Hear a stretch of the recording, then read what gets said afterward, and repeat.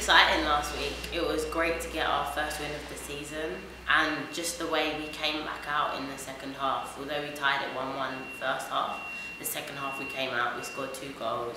We just kept pushing. It was a really hot day. Everyone was just on the same level. We all had great energy and I just feel like we set the standard of what the season is going to be like. For me, this award is really big. I've always wanted to be um, sort of noticed by the PacWest and finally it's come through but also I just want to keep pushing and see what our team can do and like get other girls on that um, PacWest Player of the Week. It's just, even though it's like it's at the start of the season, so it is early days, but I just think it gives us more drive as an entire team to just keep pushing and um, really improve on everything that we've been working towards.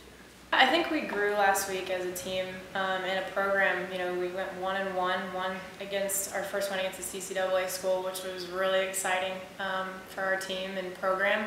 Um, and then we turned around and faced a tough Montana State Billings team who's very physical and athletic. Um, so it, you know, we learned a lot. We grown a lot, grown a lot as a group last week. Um, with some positives, some negatives, but I think we're taking those things right now and we're building and going forward.